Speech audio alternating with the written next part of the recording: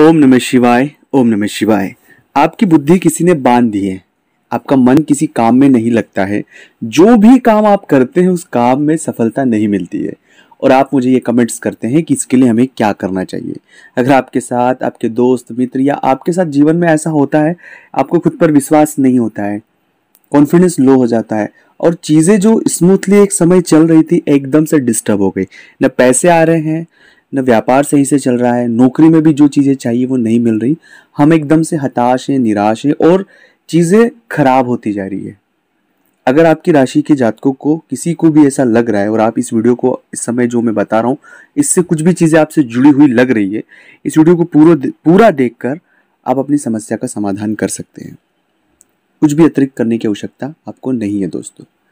लेकिन उससे पहले एक निवेदन मैं आपसे करना चाहता हूँ कि इसी तरह के अच्छे वीडियो अगर आप चाहते हैं आपके लिए। आपसे एक निवेदन है कि चैनल को सब्सक्राइब कर ले।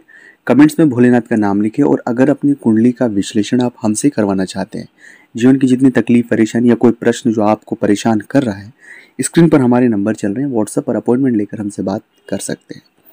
सबसे पहली बात होती है कि जब कभी भी बुद्धि बांधना या किसी काम का न होना या ये जितनी सारी परेशानी आपके साथ है, इसमें एक महत्वपूर्ण चीज़ है, एक नेगेटिविटी और होना स्वाभाविक बात है।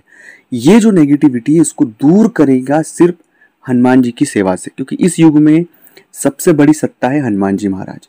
और उनके लिए आप हनुमान चालीसा बजरंग बाण सुंदरकांड का पाठ तो बेशक करें।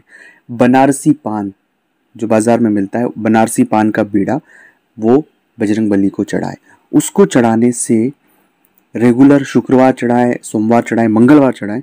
रेगुलर अगर आप चढ़ाते हैं तो ये जो परेशानी आपके साथ बनी हुई है और राम नाम का जप, इससे आप हमेशा के लिए बाहर आ जाएँगे। बहुत कम समय में, दोस्तों। ओम नमः शिवाय।